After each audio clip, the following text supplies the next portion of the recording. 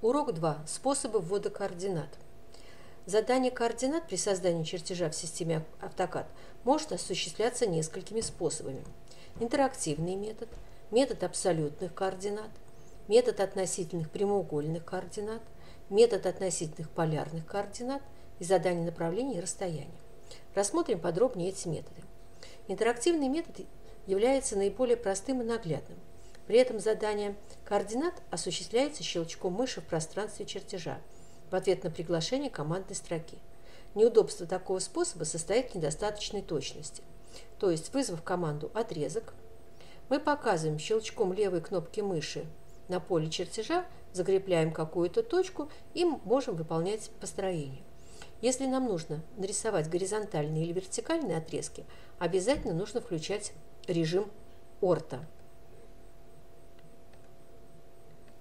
После завершения выполнения таких построений можно выключить режим орта и рисовать какие-то наклонные отрезки, не задавая длины этих отрезков. Метод абсолютных координат заключается в непосредственном вводе координат в командную строку. Значение координат x, y вводятся через запятую, а дробная часть числа отделяется точкой. В левом нижнем углу графической зоны расположена пиктограмма ПСК, показывающая положительное направление осей x и y. Отсчет координат при абсолютном методе производится из точки пересечения этих осей, которая называется э, началом координат. То есть координата этой точки 0,0. Например, если мы хотим построить командой отрезок квадрат со стороной 100 мм, мы задаем координаты левого нижнего угла квадрата. Например, 50, запятая 50.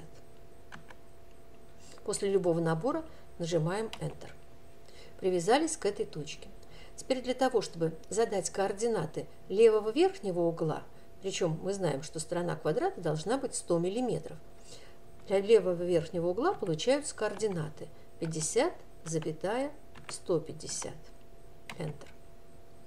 Правый верхний угол будет иметь координаты 150, запятая 150. Enter. Правый нижний угол будет иметь координаты 150, запятая 50. Enter. И можем выполнить опцию «Замкнуть». Построился квадрат со стороной 100 миллиметров. Метод относительных прямоугольных координат отличается от абсолютных координат тем, что координаты x и y задаются относительно последней заданной точки, а не относительно начала координат. При вводе относительных прямоугольных координат используется специальный символ «собака». Он получается при одновременном нажатии клавиш Shift и двойка. Например, мы хотим построить второй квадрат со стороной 100 мм. Первая точка всегда задается в абсолютных единицах. Например, 200, запятая 50. А вот для того, чтобы построить вторую точку, задать ее координаты, удобнее здесь включить Shift, для того, чтобы показывать направление построения. И для второй координаты, для второй точки нам нужно задать координаты. В английской раскладке Shift с двойкой знак собаки. Для вертикального отрезка по оси x координата будет равна нулю, а по оси y длина нашей стороны 100 мм. Enter. Чтобы построить горизонтальный отрезок вправо, значит относительно второй точки закрепленной, опять нужна собака, затем длина отрезка по оси x 100 мм, запятая 0 координата по оси y чтобы построить вертикально вниз отрезок. Собака по оси x 0 координата, а по оси y будет координата со знаком минус, потому что она не совпад... построение отрезка не совпадает с положительным направлением оси y. Чтобы построить горизонтальный отрезок влево, нужно ввести координату отрицательную по оси x минус 100, запятая 0 по оси y мы построили квадрат в относительных прямоугольных координатах тоже со стороной 100 мм. Метод относительных полярных координат используется тогда, когда необходимо нарисовать отрезок заданной длины и под определенным углом относительно последней точки.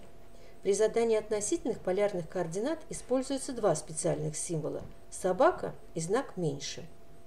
Символ собака означает, что координаты берут относительно последней точки, а символ меньше означает, что следующее зданием значение является величиной угла.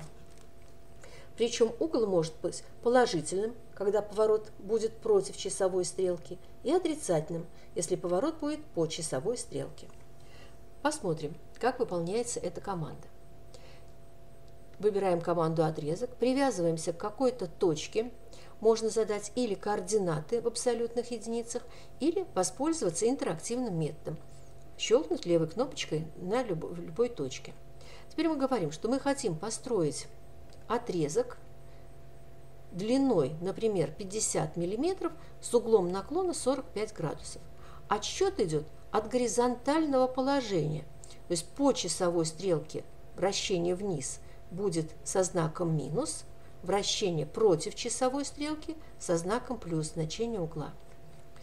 Для того, чтобы задать эти координаты, вводим э, знак собаки – затем длину отрезка, например, 50 мм, знак меньше и угол наклона, например, 45 градусов. Enter. И второй раз Enter, чтобы завершить выполнение команды. Если мы хотим построить э, отрезок заданной длины, такой метод удобен, когда все построения ведутся в горизонтальном или вертикальном направлении, то есть при включенном режиме орта. Значение расстояния вводится в командную строку, а направление задается вручную мышкой. То есть выбираем команду «Отрезок», показываем первую точку произвольно, показываем направление построения, включив режим орта, то есть вправо от нашей точки, и задаем длину, например, 100 мм. Enter. Если мы хотим вертикально вверх или вертикально вниз построить отрезок, тоже перекрестим курсора, показываем в сторону построения, например, вверх, и тоже задаем величину 100 мм. Enter для того, чтобы оторваться, завершить выполнение команды.